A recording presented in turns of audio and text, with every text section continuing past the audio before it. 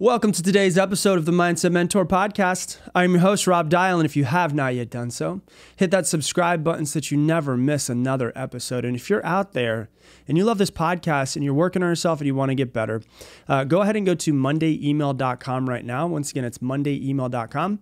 And every Monday, I will send you an email with tips and tricks on how to improve your mindset and some of the stuff that I'm doing in my life to improve myself. I'm going to give you some of that so you can start to use it as well. So, once again, it's absolutely free. It is mondayemail.com. Today, we're going to be talking about where most humans' suffering comes from. Now, let me talk about suffering and let me talk about pain real quick before we dive into this. Pain is inevitable, suffering is optional. So, when I say human suffering, a lot of people will think like, oh, the people suffering that are in other countries or people that are going through terrible trauma and all of that stuff. That's not what I mean when I say suffering pain, it, like I'll give you a quick example just to make it more sense. I'll give you a little more context, right? Pain would be somebody cheating on you. Suffering is waking up and thinking about that every single day. The pain happened. That is inevitable. You're going to have pain in your life. The suffering, though, is optional. There's some people that are still suffering 10 years later from somebody that cheated on them 10 years ago and thinking that they're not good enough. 10 years down the road. And so when I say suffering, that's what I mean. And we're going to talk about the path of a human and the path of growth as a human. And um, first, we start off being a child, right? And if you think about, about children, like I have a lot of children that are in my family. I grew up in, you know, when I go to Christmas, we have 40, 45 of us that are back home.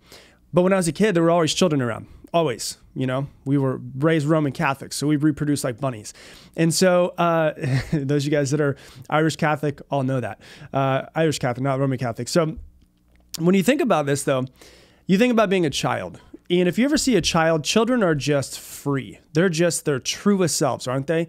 Like they can get naked in the middle of a Target and they don't give a damn what you think about them. They don't care. They're just free. They're just their truest selves. And that's the way we come into this world. And then at some point in time, we are taught how to fit in with society, taught how to fit in with our family. We are domesticated, I guess you could say, right? And through the domestication process, we lose our true selves. And so you might be too loud while you're at the grocery store and your parents yell at you. You know, the other day I was at uh, I was at a restaurant with Dean and his family and his little two year old, I think he just turned three, just decides in the middle of a restaurant, nice restaurant, just to scream like out of nowhere. It didn't. It came from nowhere, and we are like, "What the hell just happened?" Right? That's just a child. That's what they do, and they don't care what anybody thinks in their entire restaurant. And so we're all like, "Shh, you got to be quiet."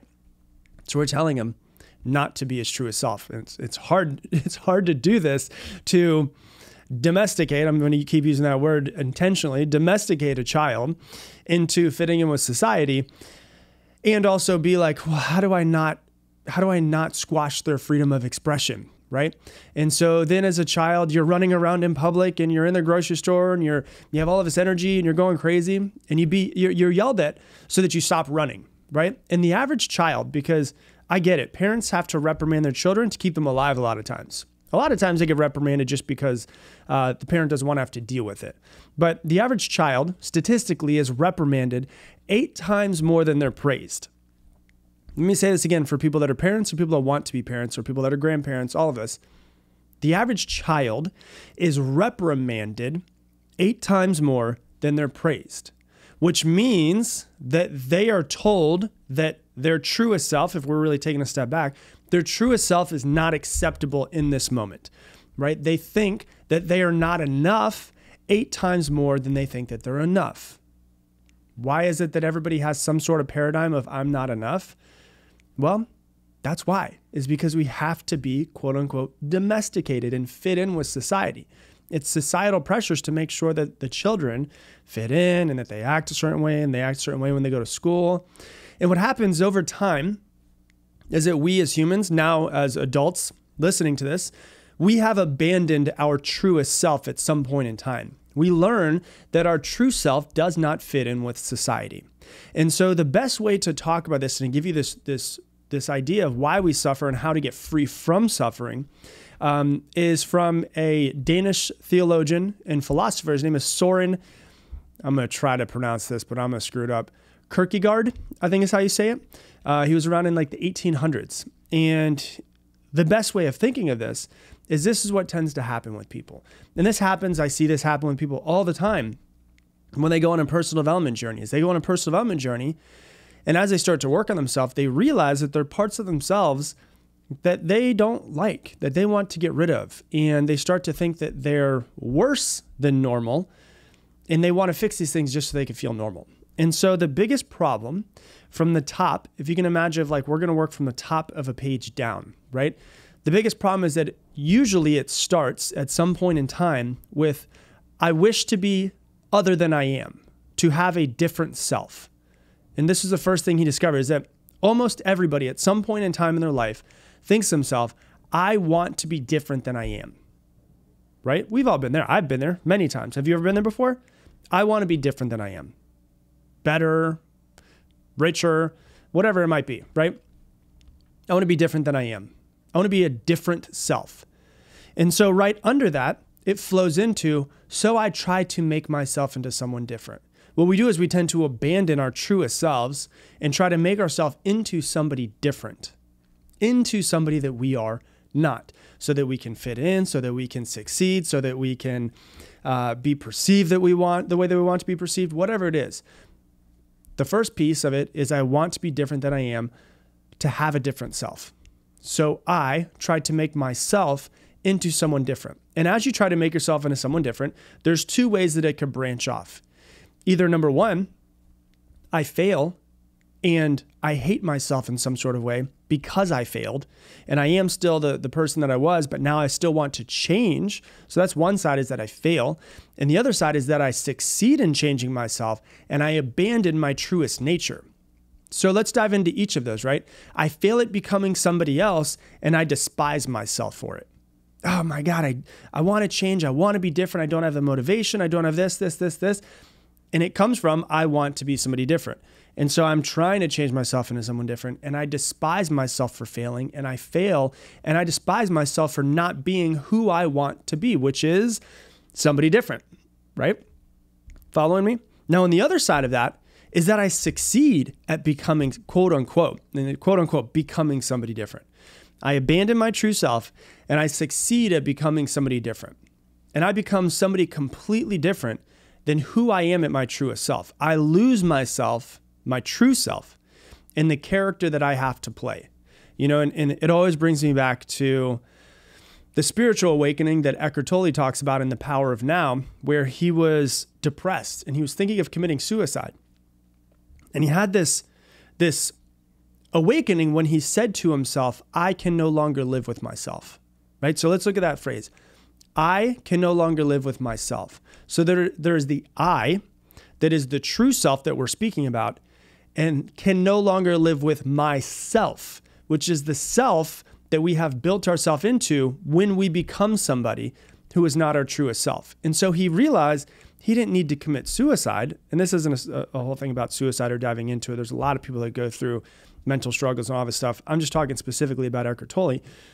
The I can no longer live with myself. He realized he didn't need to kill himself. He needed to change the self and go back to his truest nature, which was the I, which is the true self, right? So, either way, whether I fail at becoming who I want to be and, and changing myself from my truest self, either that is, is one side, or the other side of the coin is that I actually succeed and I lose my true self. Either way, I'm losing my true self. And what happens is I get so far away from who I truly am, I don't know who I am anymore. And I don't know about you, I found myself here a few times in my life where I don't know who the fuck I am. And I'm like, I I don't know, I'm lost. And it's like a dark night of the soul of like, who am I? What am I? What have I built myself into? You know, there's a lot of very successful people that become successful and then either become depressed or they commit suicide or whatever it is it might be. And a lot of times it's because they have to abandon, let me say that again. They think that they have to abandon their true self in order to get to the mountaintop, the top of the mountain. And they get to the top of the mountain and they realize that it didn't do anything for them. They don't feel any different, right? I remember thinking to myself, like, oh, when I am super successful, when I become a millionaire, then everything will be fine. And then I got to the quote unquote top of the mountaintop and I was like, I don't feel any different. Like money did not solve anything. The only problems that money solves are money problems, nothing else. Everything else is exactly the same. And so, either way, we lose ourselves. We have to lose our true selves in order to, at some point in time, get in here and, and start to figure out who we are, who we're not, all of that stuff.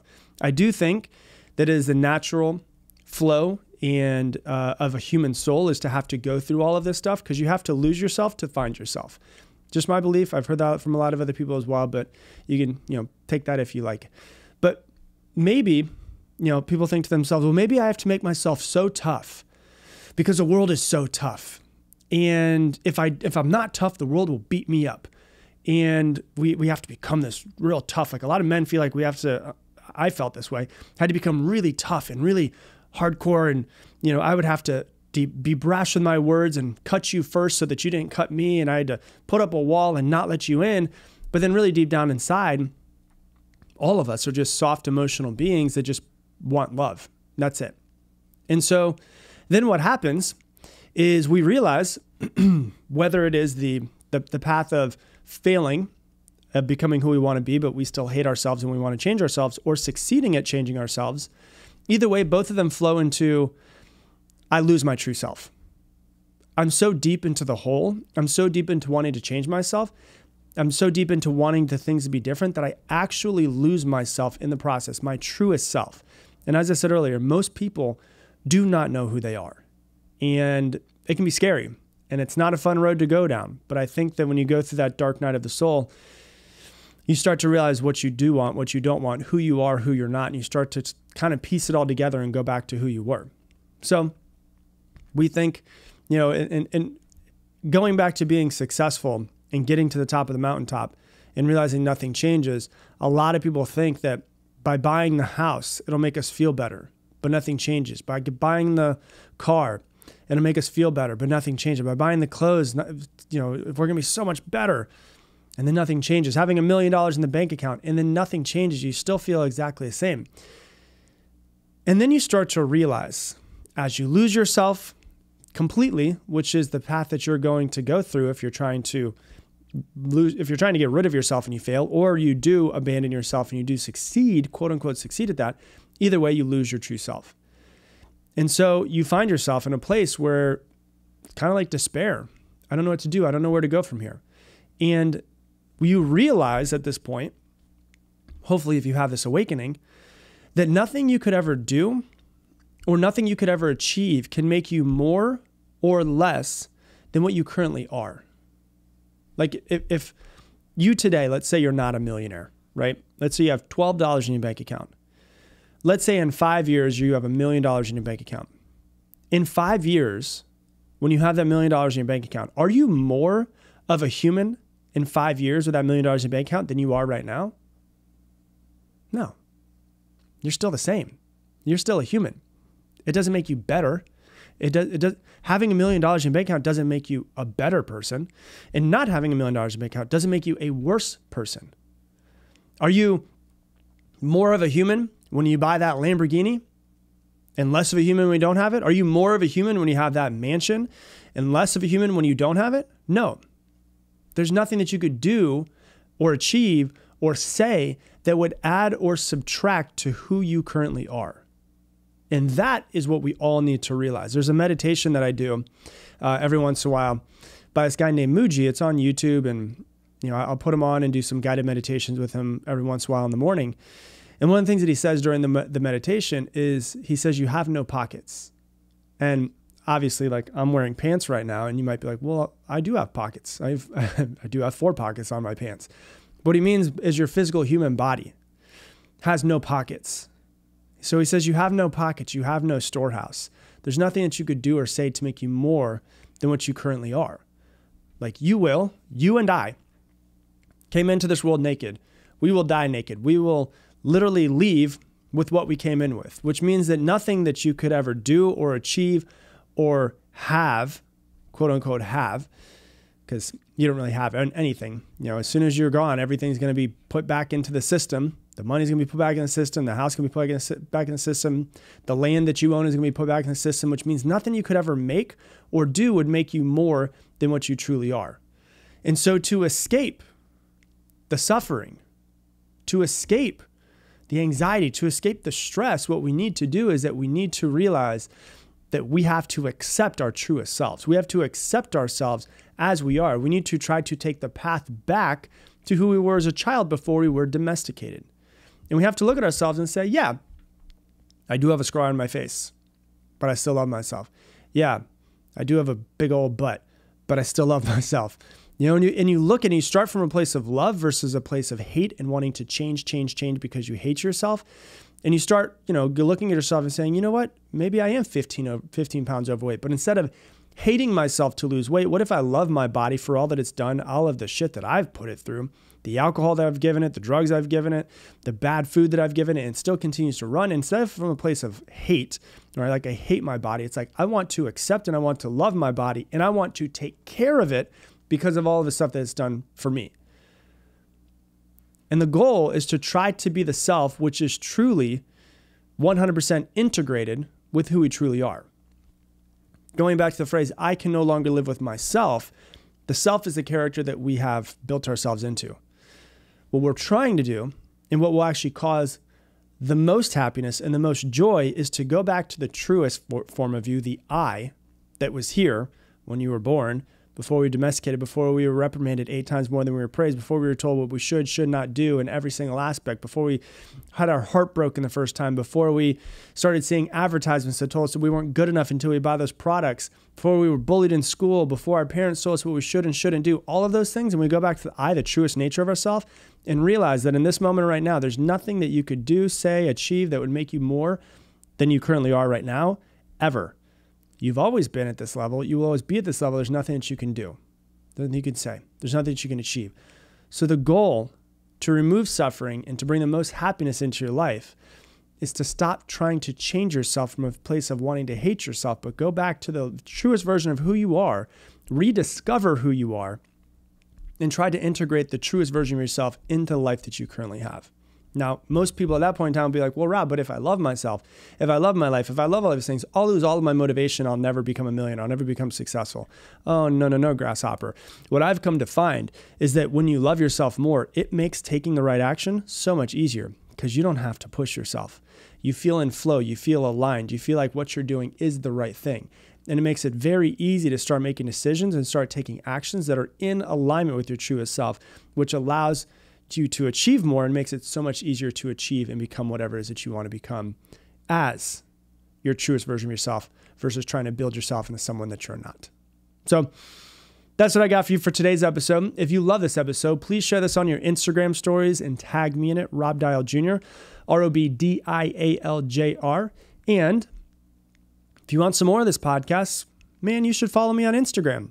Besides Rob Dial Jr., you can go to the Mindset Mentor podcast on Instagram. We have like 25, 26,000 people that follow us on there right now. We put up clips and some also behind the scenes and stuff that you've never seen before uh, from the podcast and behind the scenes of the podcast on that page. So, once again, it is the Mindset Mentor podcast. And I'm going to leave you the same way I leave you every single episode. Make it your mission to make someone else's day better. I appreciate you, and I hope that you have an amazing